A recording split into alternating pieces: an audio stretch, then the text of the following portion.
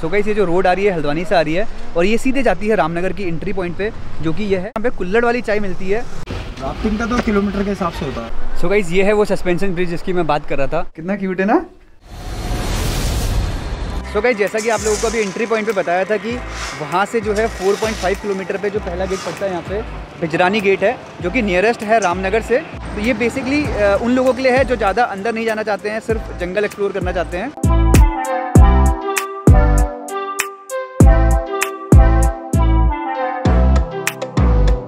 तो गाइज़ अगर आप लोग जब भी रामनगर आ रहे हो जिम कॉर्बेट में शेर देखने आ रहे हो तो सिर्फ़ शेर देखने के बजाय भी यहाँ बहुत सारी ऐसी चीज़ें हैं जो हम आपको आज दिखाने जा रहे हैं और दिखा रहे हैं। और उसमें से ही एक ये चीज़ है कि यहाँ पे कुल्लड़ वाली चाय मिलती है जस्ट रोड के बगल में है। चाय नॉर्मली रेडी हो।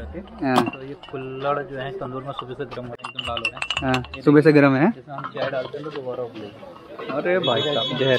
मिट्टी का फ्लेवर आएगा। हम्म। हमारी बॉडी के लिए बहुत अच्छा है।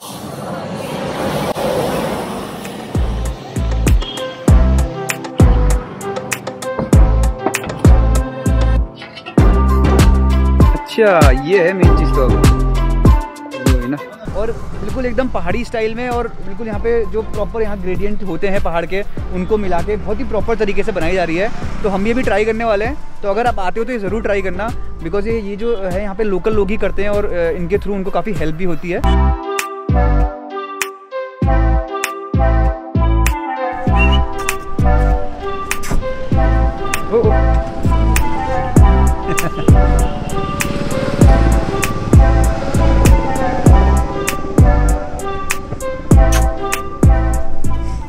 गाइज़ घूमते घूमते अब हम पहुँच गए हैं हॉलीडे हाईलाइट्स में। यहाँ पे हम लंच करने के लिए रुके हुए हैं। सो बेसिकली समर जी ने इंसिस्ट किया कि यार, आप हमारे साथ ही लंच कीजिए, हमारे साथ ही लंच कीजिए। तो मैंने सोचा कि चलो, इन्हीं के साथ लंच कर लेते हैं। सो भाई जस्ट मैं अभी ये, यहाँ पर रेस्टोरेंट के अंदर घुसा हूँ और अभी फ़िलहाल कोई यहाँ पे गेस्ट है नहीं।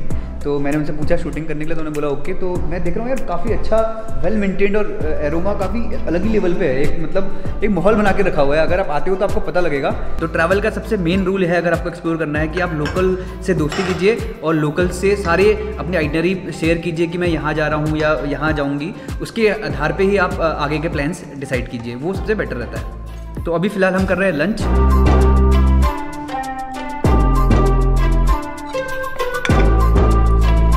ढिकुली गेट है ना? वहाँ से आप जब गर्जिया देवी साइड को आएँगे हॉलीडे हाइलाइट्स के बाद, एक रूट करती है कच्ची सी यहाँ से। तो यहाँ से सस्पेंशन ब्रिज को रास्ता जाता है, जो कि एक अट्रैक्शन पॉइंट है यहाँ पे। काफ़ी कम लोगों को पता है। अगर आप कभी यहाँ आ रहे हो तो ज़रूर आना एक्सप्लोर करने के लिए।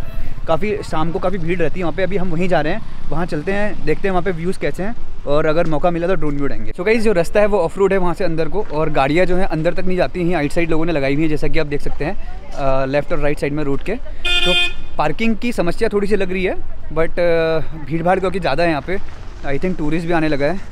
भाई राफ्टिंग भी होती है क्या यहाँ पे? मानसून टाइम पे।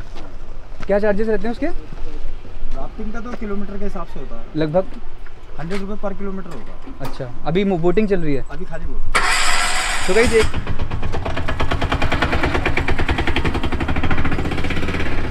सो भाई, जैसे जैसे हम अंदर अंदर जाते रह रहे हैं नई नई चीज़ें पता लगती जा रही हैं तो यहाँ पे जो इन्वायरमेंट है, इस तरीके का है, देखिए। बिल्कुल रॉ इन्वायरमेंट है विलेज हट्स बनी हुई हैं, और ये जो रास्ता है, सीधे सस्पेंशन ब्रिज को जा रहा है। और अभी जैसे कि उन्होंने बताया, यहाँ पे रिवर राफ्टिंग भी होती है मानसून के टाइम पे, और अभी जो है, फ़िलहाल रिवर राफ्टिंग नहीं हो रही है। अभी सिर्फ़ बोटिंग हो रही है, और राफ्टिंग के रेट उन्होंने बताए, सौ रुपये किलोमीटर। तो हाँ अपना अपना टेस्ट है, अगर आप करना चाहें तो वो भी यहाँ पर कर सकते हैं। सो गाइस, थोड़ा सा आपको पैदल चलना पड़ता है। पैदल चलने के बाद आपको जैसा कि आप पीछे देखेंगे, ये सस्पेंशन ब्रिज का रास्ता बिल्कुल सामने है मेरे और ये है सस्पेंशन ब्रिज और इसके नीचे से बह रही है कोसी रिवर तो काफ़ी सारे लोग वहाँ नदी के बीच साइड गए हुए हैं। कुछ लोग नहाने के लिए गए हैं, कुछ लोग एंजॉय करने के लिए गए हैं। बहुत सारे लोग फैमिली के साथ आए हुए हैं। तो एक शाम को हैंग आउट करने के लिए एक अच्छा प्लेस है। यहाँ पे कहीं आपको छोटे छोटे मैगी के स्टॉल्स भी देखने को मिल रहे हैं। तो अगर आप आ रहे हो तो यू नो स्नैक्स के रूप में आप मैगी वगैरह भी खा सकते हो।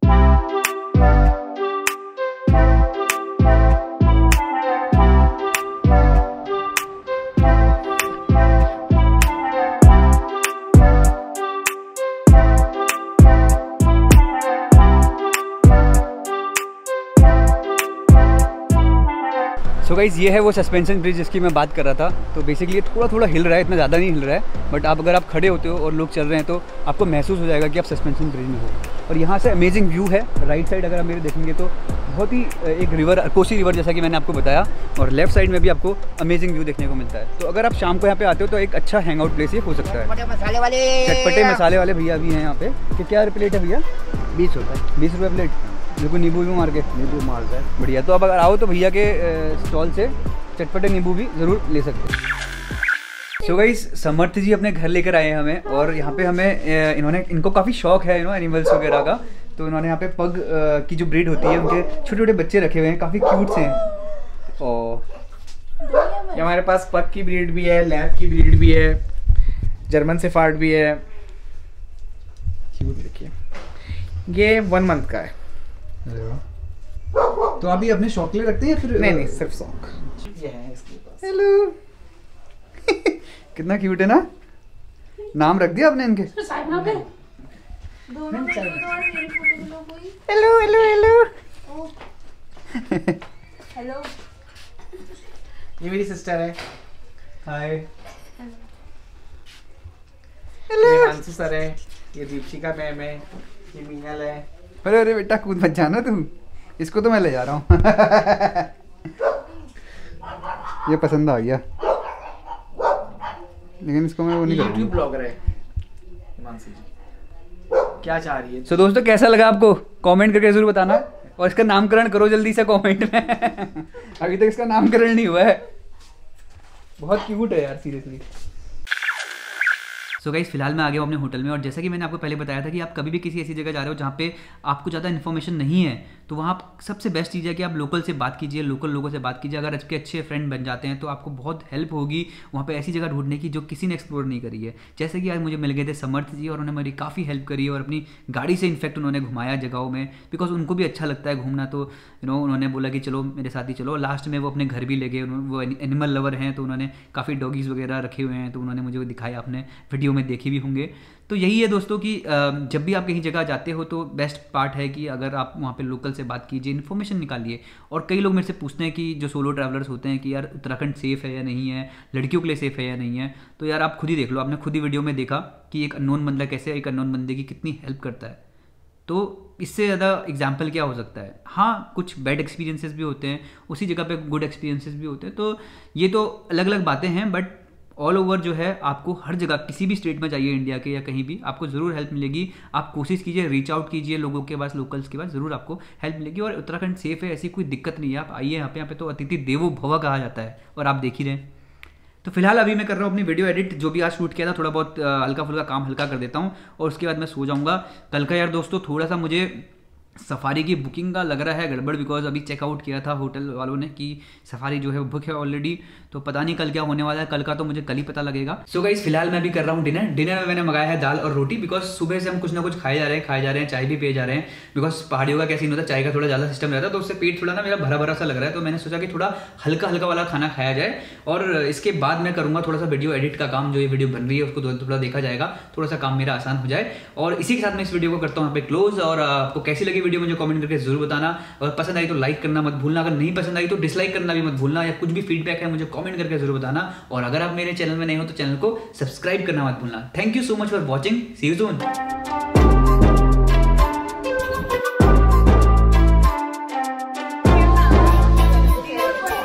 और एक और मंदिर है इधर, दुर्गा माता का।